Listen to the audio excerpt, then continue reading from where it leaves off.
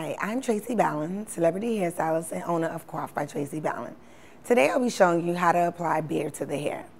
This first step is that you shampoo the hair so that it's clean. Now you can use whatever shampoo that you regularly use. The second step would be to use room temperature beer and pour it into a spray bottle. And you'll need a wide tooth comb.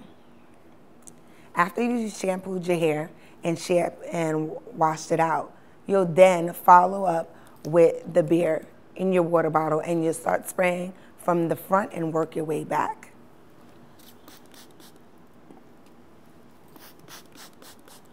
Now you want to spray the hair until it's completely damp with the beer and get a wide tooth comb and comb right through.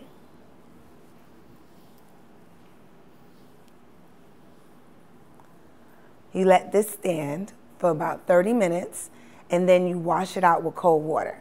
Now this will help to lock in the shine and to close your cuticles.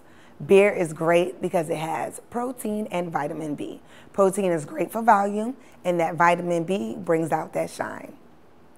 Thank you. And I'm Tracy Balan.